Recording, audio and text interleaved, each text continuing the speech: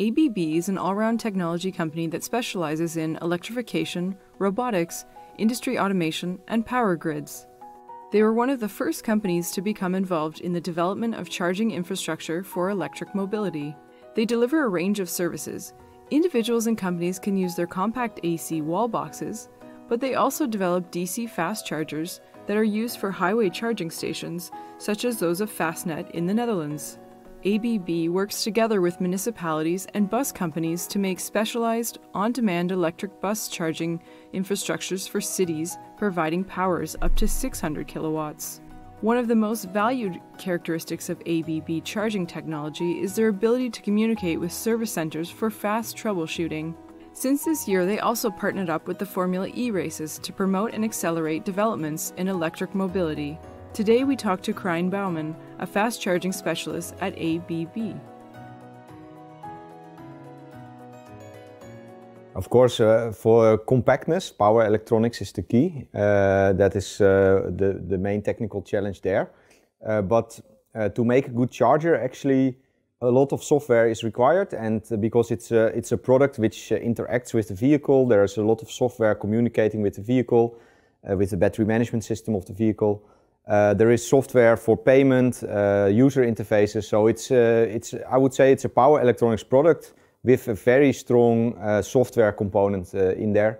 And actually the software is, uh, I would say for the customers we have, is, is, is very key because they make the payment applications, they make the interaction with the user and all these, these items which are very visible to the outside world. Uh, what has led to the diff different connectors is actually industry politics because uh, the Japanese were first with uh, electric vehicles and uh, then the Americans and the Europeans decided not to follow their standard, so they created their own standard. And uh, also later the French also tried to bring a new standard and uh, it was, in the end, from a technical point of view, it is it really makes no sense. But it's it's just politic politics and standardization committees in the end uh, have found a way to say agree to disagree. So basically there is a standard with multiple annexes. So chargers now have three cables at the moment and soon it may go to two and maybe in 10 or 20 years to one, but uh, that's really a question mark, I would say. Um, buses and trucks have much bigger batteries and typically the charging power is much higher. And also the use case is very different. For example, a, a bus, uh, a, a, city bus drives the same circle the whole day. So, and it stops at the regular places. So uh, it, it needs actually a charging system which is very fast, but is uh, charges the bus enough to drive one circle.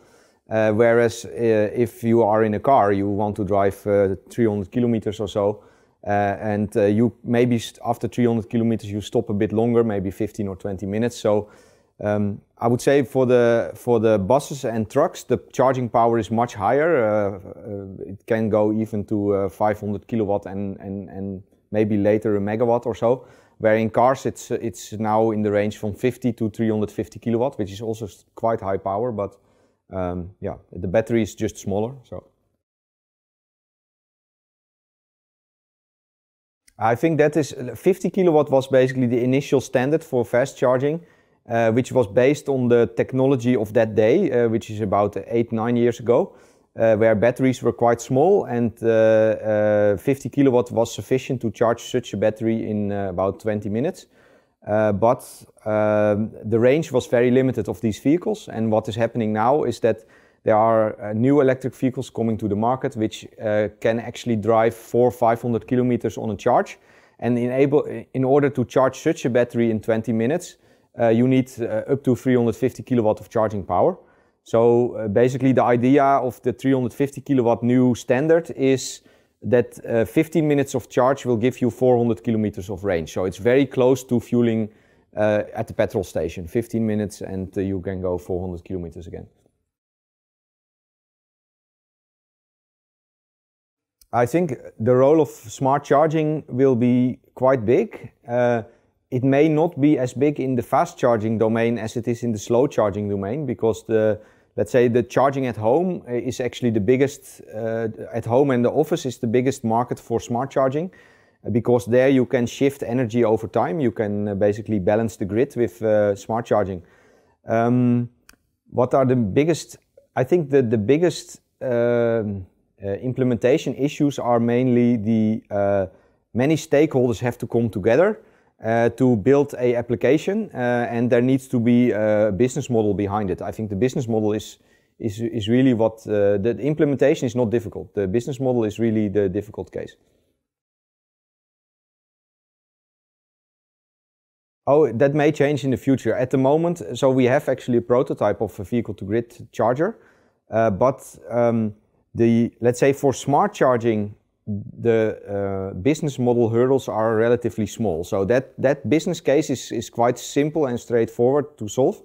For bidirectional charging, there's also a very large regulatory aspect. Is that uh, it it it's not allowed everywhere, and uh, the use case is. Um, there are many stakeholders coming together because if you use the battery uh, to balance the grid, for example, the battery uh, has it, it degrades the battery. Every use of a battery degrades it. So you need to find the financial compensation for the loss of capacity of the battery versus the stakeholder, which is a different stakeholder, which is, for example, the grid owner. So the business model challenges are really uh, not easy.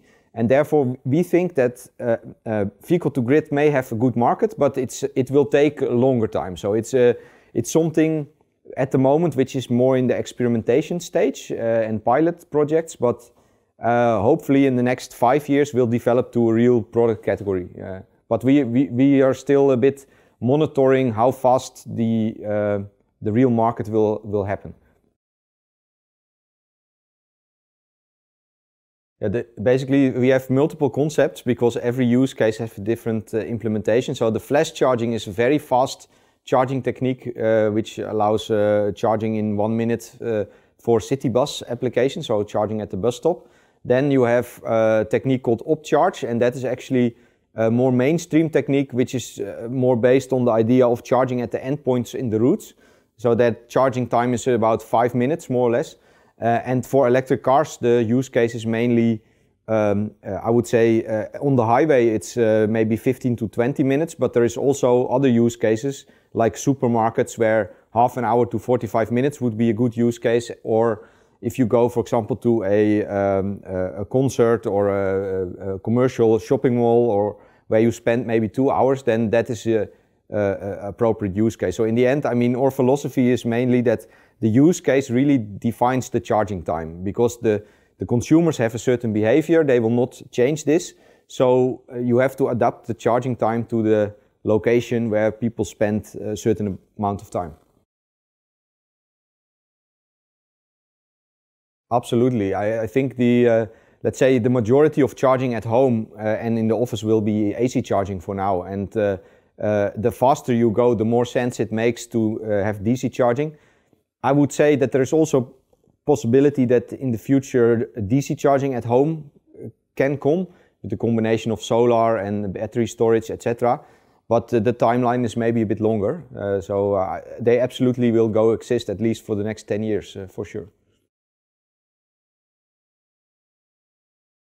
Um, I would say uh, we I would say we have a quite broad portfolio for all the use cases. Um, and uh, our chargers are very well, that we have invested a lot into the software side of the charger. So uh, the applications, building payment, connectivity, remote diagnostics, because to make a charging operation commercially attractive, uh, uh, your uh, running costs need to be very low and remote diagnostics, remote service capability are absolutely crucial to many customers. So we invested a lot in that and we invested a lot into the integration with payment applications, uh, integration with apps, with smartphones, etc., which define actually the user experience. So uh, there, compared to others, we, we are have really a strong uh, position there. Um, yeah, both in, uh, I mean, in if you look at the overall market in Europe and United States, we are the market leader for DC charging. In the Asian region, we are uh, uh, maybe not the market leader, but also a strong player. And uh, I, I, think compared to the others, we are we have more focus on the application for the end user. So how, how does our customer actually use the product and what uh, it's not just a box with hardware it has software it has a user interface it has connectivity payment application and that is very crucial to our customer base Ah, that's an interesting question. Actually, um, I mean, in general, the future for electric cars is very bright because the, every car will be electric. It's just one. It's just a question if it is one or two decades, and three decades for sure not. It's one or two decades, and um, uh, will so there is really a bright future. I think there will be a very wide variety of charging options. Um, if if it would be feasible to to have a solar panel on the car, I, maybe technically, maybe at some point it's feasible. But the question is if it's practical for all the use cases, I would. Not all cars are always in the sunlight, and we are living in the sunny country of the Netherlands, where maybe there's sometimes a cloud. So uh, I, I have my doubt if that is a solution for all. But maybe I, I mean, uh, maybe there is a possibility to have that technology uh, working in in certain regions. So uh, I think it's uh, interesting. But uh, in general, uh, the outlook for uh, EVs and EV charging is, is very bright, I think.